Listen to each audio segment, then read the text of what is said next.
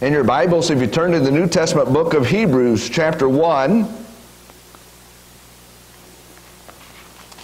and planning for 2019, we're going to be having some messages from one of my favorite New Testament books.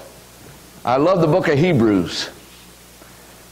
And, and one of the reasons I love the book of Hebrews, uh, Hebrews so well is because Jesus Christ is presented, He's exalted. One of the key words that you're going to see throughout the book of Hebrews is the word better or superior. Jesus Christ is superior to the Old Testament prophets. He's superior to the angels. He's superior to Moses. He's superior to all these various things. He is greater than the Levitical priesthood because he comes from the order of Melchizedek. And so we're going to see throughout this book of Hebrews, Jesus Christ is better.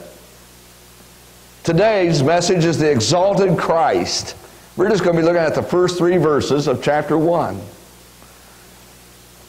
I came across in a devotion yesterday morning, uh, written by Henry Blackaby and his son Richard Blackaby, Experiencing God Day by Day, a devotional written in 1997. Says Christianity is an intimate, growing relationship with the person of Jesus Christ. It is not a set of doctrines to believe, habits to practice, or sins to avoid. Every activity God commands is intended to enhance His loving relationship with His people. God designed worship for us to see Him in His glory and to respond appropriately. For many, it has degenerated into religion. One more meeting to attend out of habit. God established the sacrificial system so that we, His people, could express our love to Him. But we often diminish our gifts to our Lord into futile attempts to appease Him and to pacify our guilty conscience. God gave us prayer so we could have conversation with Him, but often distort this by saying prayers and hurrying off without ever listening to what is on our Father's heart. God instituted His commandments as a protection for those He loves, but the commandments can become a pathway to legalism rather than an avenue for a relationship with our Father in which He protects us from harm. Religious activity apart from fellowship with God is empty ritual. The people of Jeremiah's day were satisfied to have the ritual without the manifest presence of God. They became so comfortable with their religion that they didn't even notice God's absence. Is it possible to pray, to attend a worship service, or to give an offering yet not to experience the presence of God? It certainly is possible. And that has been the sad commentary on many a Christian experience. Don't settle for a religious life that lacks a vital relationship to Jesus Christ. When God is present, the difference will be obvious. We must have our focus upon Jesus Christ. We're running this race here on this earth but just as that runner, the marathon runner, is focused on that finish line, is focused, isn't looking around at all the people around them, or those that would be in a, a race in track I was never fast enough in school to be in track, but those that would run track and, and uh, the various things, they're not sidetracked. They're not looking up in the stands and seeing all who's there. They're focused on running and staying focused ahead. And Jesus Christ is saying, focus on me. And so, Hebrews chapter 1, we're going to see the exalted Christ. Your first point on the outline is the Son more than the prophets. He is superior to the prophets. And point A in verse 1 God has spoken. How could we know God if He has not spoken? How could we know Him if He did not choose to reveal Himself unto us? We wouldn't. But here's the glorious words that happened both in verse 1 and verse 2. God has spoken. He's not like the idols that the children of Israel, when they got off away, turned away from the Lord and, and started setting up idols for themselves. Had the silversmiths to make these images that had ears and had a mouth, but they didn't speak. And they couldn't hear. Remember that scene on the, uh, with Elijah? And you had the prophets of Baal? And Elijah said, You go first. the 450 prophets of Baal, and there were 400 of the, of the Asherah, there were 850 total of these. Uh, and, and Elijah says, Hey, I'm alone left. You know, Jezebel and, and Ahab, you look what you've done to the prophets of the Lord. He thought he was the only one left. And so he says, the God that answers by fire is God. Worship him.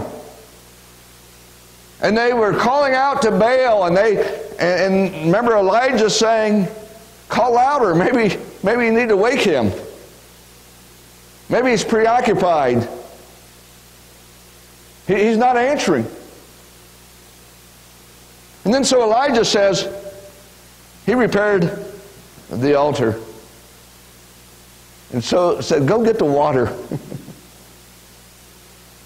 Isn't that interesting? There's going to be the one that answers by fire, but he says, Go get the water.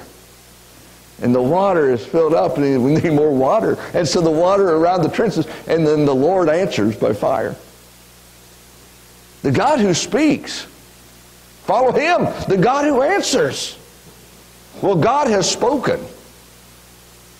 And we see in, in Hebrews 1, God, after he spoke long ago to the fathers in the prophets, in the original language, the, the emphasis is really put on this last phrase.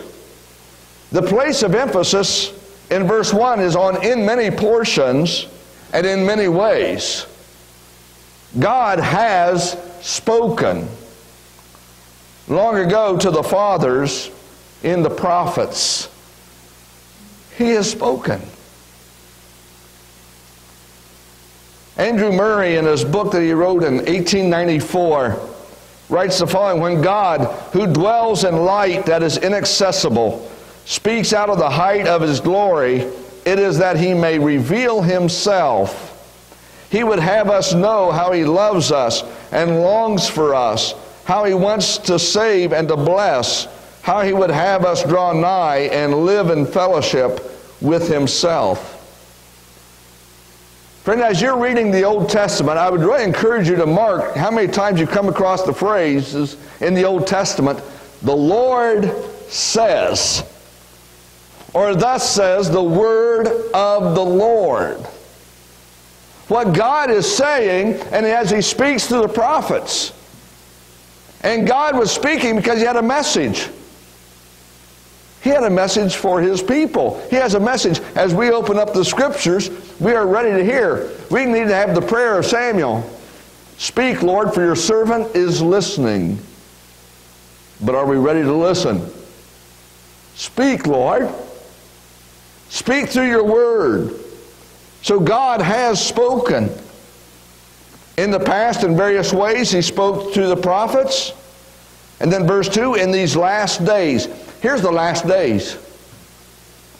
The last days began with the first coming of Jesus Christ, with his advent. What we just were celebrating with the birth of Christ, that began the last days. And that will go until his second coming. So we are truly living in the last days. So, this period of time, in the last days, God has spoken to us through a son. Actually, his is not part of the original there. The focus is on the, the sonship of Jesus Christ, who he is. But God has spoken to us through his own son, Jesus Christ. So we think about the full revelation the very last book of the Bible is Revelation. And who's it the revelation of? Jesus Christ. in what John sees in John in, in Revelation chapter 1, he sees the living Christ. And he falls down, doesn't he? Have you ever noticed when people would see the glory of the Lord? What's the reaction? They fall before him. I really believe that's what we're going to do in heaven. We're going to fall before the Lord in his glory. The full revelation in these last days has spoken to us in his Son. Westcott has written there is a contrast in the method. He spoke to the prophets in various ways. There's a contrast in the method in these days. He's spoken to us through his Son. In the time, in the agents of the two revelations, through Christ. We always get into trouble when somebody says, I have a word from the Lord, and it does not line up with scriptures. What about the groups that say, oh, I have another testament? When I've witnessed to Mormons before, I used to see in Johnstown a lot that the bike path there was a couple young men. They were Mormon missionaries. And they had their name tags and and I remember telling them. I always tell them exactly what the Apostle Paul said in Romans to the unbelieving Jews. I said, you know, you have a zeal. They do have a zeal. Those that are willing to leave home and go to wherever for a period of time, there's a zeal. And I say, you have a zeal. But here's a problem. I said, here's the reality Jesus Christ it's what this verse says. He's the final revelation. And as soon as you start talking about another testament or another book, that violates the very teaching of this word. So when they'll say, Oh, can I tell you about this and this and this? And I said, With all due respect, that is not in line with the God of the Bible. We can be forthright in a respectful way,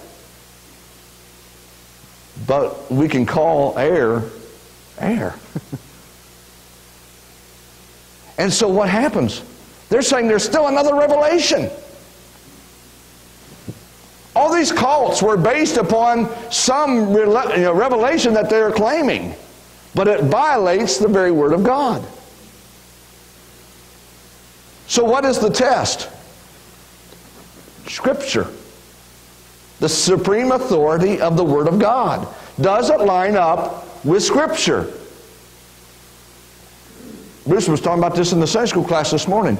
I'm always amazed how many times in the sermon, as I'm studying, that it, it, things line up so well from the Sunday school class to what I'm studying for the scripture, you know, for the sermons. But one of the things that is true is we must test things according to the scriptures. We must take the word of God. We must examine to see if it, these things are so. And indeed, the Holy Spirit, He does alert to us when we hear something that is off doesn't line up. What do we have? We have a biblical responsibility to reject that which is not in line with the Word of God. Amen? And I have news for you. As we get closer and closer to the coming of the Lord Jesus Christ, this will increase. I can't keep up with all the isms. There's too many of them. I cannot keep up with all the different false teachings that are arising and even those that are arising under the realm of evangelicalism. And there is some false teaching arising even under the realm of evangelicalism. But what do we have to do? We need to know the Word so that we can say, does that line up? And God has spoken. He has spoken to us in the last days through His Son and in His Son, Jesus Christ. He came to reveal the Father. And through the Son, there is the fulfillment of what is promised in the Old Testament. Let's go to point two the Son, the glory of His person. There's some powerful statements in verses 2 and 3 about Jesus, and we want to examine them today. First of all, is the program for the future. In verse 2, whom he appointed heir of all things. Keep your finger there in Hebrews and go back to Daniel chapter 7. Daniel chapter 7, verses 13 and 14.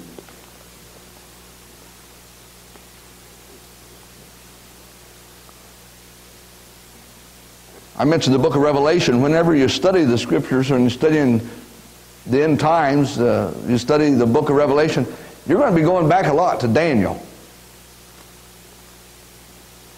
In Daniel chapter 7, verses 13 and 14, I kept looking in the night visions, and behold, with the clouds of heaven, one like a son of man was coming. And he came up to the Ancient of Days and was presented before him. And to him was given dominion, glory, and a kingdom that all the peoples, nations, and men of every language might serve him. His dominion is an everlasting dominion which will not pass away, and his kingdom is one which will not be destroyed. Because Jesus Christ was faithful, he was obedient to the will of the Father. He went to the cross, he accomplished our redemption. He rose again the third day. He ascended just like the scriptures said he would. He's at the right hand of the Father. But the reality is, he is the king. And there's a coming kingdom.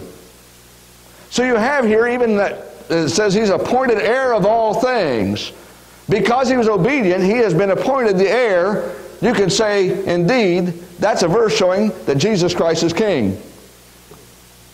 I didn't have that reference on your notes of Daniel 7 13 and 14, but that shows well what will take place. He will rule here on this earth, eternal kingdom. The purpose in everything. Verse 2 says, Through whom also he made the world. The word for world actually is better translated ages. He made the ages. So you have the purpose in everything. The Nelson Study Bible puts it this way the Son is the Lord of all history. History truly is His story. you cannot study history apart from the sovereign lordship of our Lord Jesus Christ. Even the founding of our country. Boy, it breaks my heart today that people want to try to make them out to be all these secularist, naturalist thinking, or atheistic. Not all of the founders were Christians, but many were. Many that put their signatures on the founding documents were willing to take that risk and that sacrifice. How many of their writings are talking about the Lord Jesus Christ? Isn't that something to have a president call for a national day of not only prayer, but of fasting? Humiliation before the Lord. What humility? Saying, We need you, Lord. Our nation, we need you. We need to seek you the purpose and everything. That through Christ he made the ages. Jesus Christ is the creator. We see that in Colossians chapter 1. We see that in John chapter 1. Without him, nothing was made that was made. Jesus Christ the purpose and everything. Go to verse 3. The person of God. He is God. He is deity. He is the radiance of His glory. The word radiance, is, this is very important. Jesus Christ is not reflecting the glory, it is the brightness, it is His own brightness, His glory. He is God, His deity. He doesn't reflect like the moon does.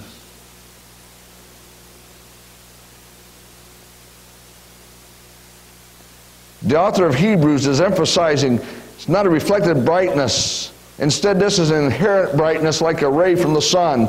Jesus' glorious brightness comes from being essentially divine. Remember the Mount of Transfiguration? What happened? There was the brightness of Jesus' glory. I already referenced Revelation chapter 1. What did John see? He felt like as a dead man. Why? The glory of the Lord Jesus Christ. There were times where that was veiled. I believe as they came out to the garden to arrest Jesus, and Jesus stepped forward and said, Whom are you seeking? And they said, Jesus of Nazareth. And Jesus stepped forward and says, I am. Unfortunately, in our Bibles, there's italicized words that are added for emphasis that are not part of the original. And, and sometimes they don't help. and this is one of those instances where it says, I am He. That He is not there. It's I am. It's the name Jehovah, Yahweh. He is saying, I am. And when Jesus said, I am, they fell backwards. They got a glimpse of His glory. Now, we would expect that they would right away be ready to repent and say, We are sinners before a holy and righteous God, but that's not what they did. Jesus said again to them, Whom are you seeking? And they said, Jesus of Nazareth. And he says, Here I am. Let them go. So they came to arrest Jesus, but they saw a glimpse of his glory the brightness of his glory. And it says, the exact representation of his nature. The imprint. The exact representation. Colossians chapter 2 verse 9 puts it this way, in him the fullness of deity dwells. He is God. When Jesus came to this earth and put on flesh, he never stopped being God. Now, the whole idea of the word kenosis in Philippians 2 of laying aside certain privileges that he had of deity didn't mean stop being God, but he laid aside certain privileges. But he is God, he is Lord. He's the perfect imprint, the very image of God's nature. He's also the preserver of all things, upholds all things by the word of his power. When he created all things, he just didn't say, okay, I turn it over, it, it just, it'll go on its own now. The Lord upholds all things by the word of his power. That's power, amen?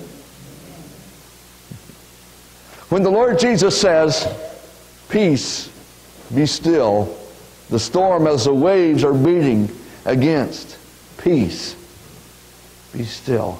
What happened? Was obedient. Because he is the creator. And he has the power.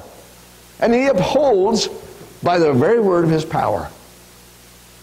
That's who he is. Point three, the Son, the glory of his work.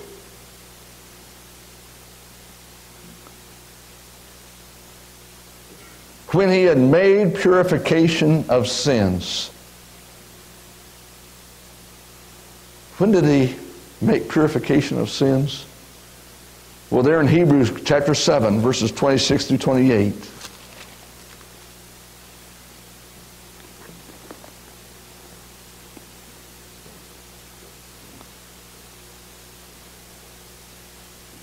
Was fitting for us to have such a high priest, holy, innocent, undefiled, separated from sinners, and exalted above the heavens, who does not need daily, like those high priests, to offer up sacrifices, first for his own sins and then for the sins of the people, because this he did once for all when he offered up himself. How often? Once for all time. A finished, a completed redemption. For the law appoints men as high priests who are weak, but the word of the oath which came after the law appoints a son made perfect forever. Jesus Christ offered himself.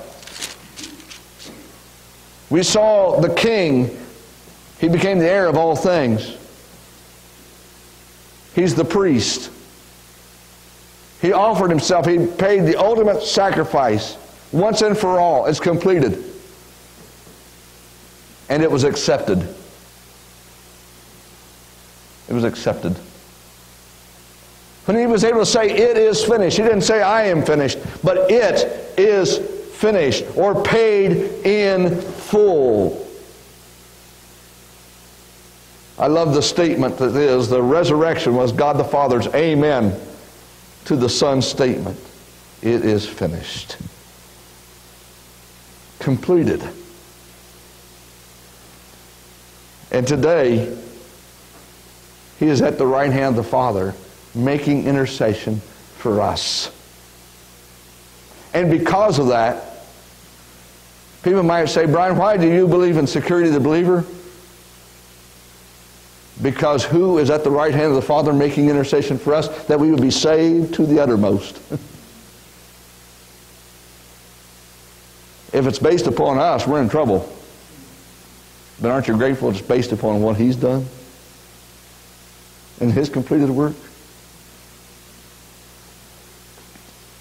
So you have the purification of sins. That's what Jesus came to do. He made purification. He cleansed us we're redeemed by his precious blood that he shed upon that cross. And then our final point is provision for the present. In verse 3, the latter part, he sat down. Friend, the Lord Jesus Christ didn't sit down because he was tired. There's a big difference between the earthly priest and Jesus Christ as the faithful high priest. The earthly priests couldn't sit down. Why? Their work was never completed. The work was never completed. But what did Jesus Christ do? He sat down. Because the work was completed. The work is done. That is such an important message because there are millions around the world that are in bondage to teaching that is not in line with the Word of God, thinking that they have to completely, you know, that this continuous crucifying of Christ over and over and over again. It doesn't line up. It doesn't line up with the truth that Jesus Christ died once. Completed the redemption. Oh, when we remember when we had the Lord's Supper, what are we doing? We're doing this in remembrance of me. It's a remembrance of what Jesus Christ did on the cross. A remembrance of his body that was given for us. In remembrance of the blood of the New Testament. It's a remembrance. It's an observation that we need. But oh, that is not imparting some type of grace to the one that is receiving the bread and the cup. There are a lot of, I, I'm blown away by the number of evangelicals that will use the word sacraments. Sacrament, that's the wrong word. We are, it's ordinance. Sacraments have the idea of imparting some type of grace. We don't have the sacraments, we have the ordinances. And it's not just semantics, it is an important difference. And I've read different writings before that have come from groups, and, and they'll say, oh, they'll talk about the sacraments. I'm thinking, that's not the correct teaching.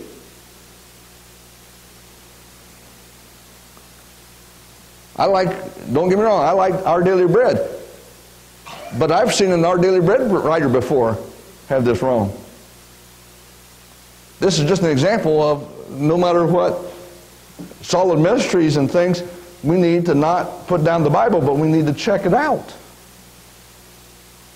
I remember reading that devotional some time ago and thinking, alarm here. Hey, you're using the wrong word. It's not a sacrament. It's an ordinance. It's the completed work.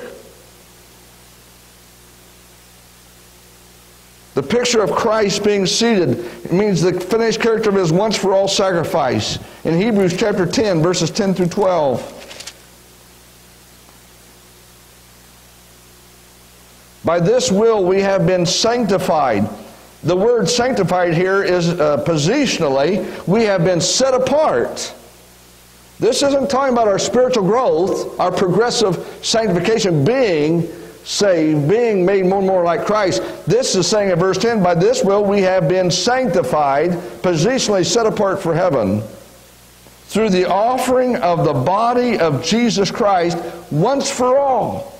Every priest stands daily ministering and offering time after time the same sacrifices which can never take away sins.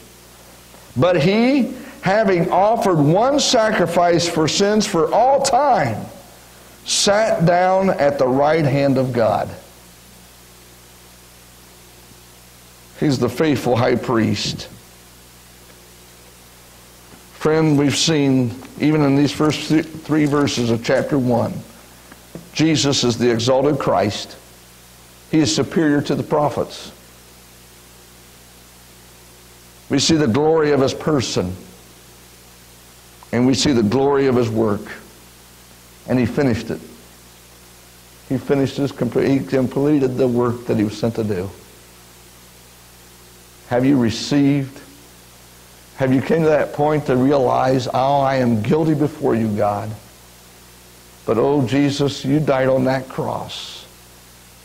You took my sins. My cleansing is based upon your, your blood that was shed upon that cross. And you rose again the third day. He lives to make intercession for us. Oh, he gives aid to his people. Hebrews 4 says that he is there as the compassionate high priest, that we may come boldly to the throne of grace and find mercy and grace in time of need. As we have the invitation this day, you may enter in 2019 and say, you know, Lord, I need your mercy and your grace. There's a time of need. And we have that invitation to come boldly to the throne of grace because he lives forever to make intercession for us. We come on the basis of his worthiness, not our own, his righteousness applied to our account, not our righteousness. But we can come boldly to him. Heavenly Father, we pray right now as we can see in scriptures the exalted Christ and Lord, if there be somebody here this day that does not know you as their Lord and Savior, that even today they would call out to you, Lord, for salvation. We've been told, What must I do to be saved? Believe in the Lord Jesus Christ, and you shall be saved. Relying upon your completed work for us, dying on the cross Lord, we pray for those that know you that may be here today spiritually struggling. You said there's a race to run. Our Christian life can be compared to that race. And you are the beginning, the author, and the finisher, the completer of the faith. But we're to run having our eyes fixed upon you, Lord. Maybe there's somebody here that knows you as their Lord and Savior, but the honest truth is that you're speaking to their heart because they've got their eyes off of you. Oh Lord, just like the hymn writer says, Oh, I'm prone to wander, to leave the God I love. Oh, take my heart, Lord, and seal it in thy courts above with your indeed your great love that that Lord that we can look to you and thank you that we can run with our eyes fixed upon you.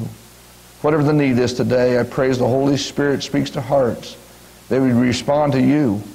You are the exalted Christ, and we love you.